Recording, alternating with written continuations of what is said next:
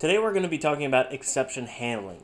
The entire way I want you to think about exception handling is, let's just imagine for a second, this is your program. Okay, it's the, it's the world, it's going nicely, it's going smoothly, nothing wrong with it going on there, and then your program crashes. Well, what happens typically if you think about when your program crashes? Everything's on fire. You're you're freaking out. You know, oh crap. You know, I'm I'm I'm late for my submissions. All that nonsense. You know, typically, you know, the idea is that when your program crashes, uh, it halts entirely. And the entire reason why is because it does not know what to do. You didn't tell it what to do in this situation.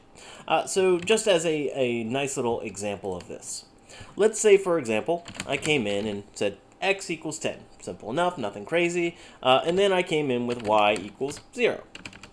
Print x divided by y. Now, if you're you know astute, you'll realize uh, we can't divide by 0. That's mathematically impossible. We should not be allowed to do that. Python allows me to do it. Now, Python doesn't know what to do uh, in the case of a divide by zero. It's freaking out over this, so it's going to crash. Uh, now, as programmers, we're pretty smart about this. You know, we wouldn't uh, do something like this, but we might have to deal with something where the user uh, types in uh, things that can cause us to crash. So, say for example, I come in, enter a number, and I'm just going to copy that into my Y. Same kind of thing. Oh, well, now it's not me, the developer, uh, who's writing out these zero uh, divisions. It's the user who comes in and crashes me. And the same kind of thing. Well, maybe the user's smart enough. Maybe we do some uh, error handling and we can, you know, uh, input validate what they're typing. And so maybe, oh, okay, well, maybe, okay, they, they do the 10. Instead of not typing zeros, because we stop that, they type an A. That's a completely different error entirely.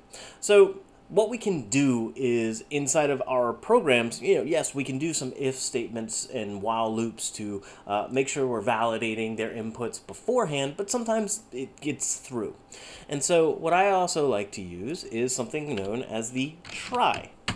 Now the try, the entire idea I like to imagine is it's treating this like this code that I'm tabbing in right now. All of the code in here, uh, it doesn't automatically happen. I like to imagine it's a parallel universe, right? Uh, we're using the globe uh, analogy that I, I showed in the slides.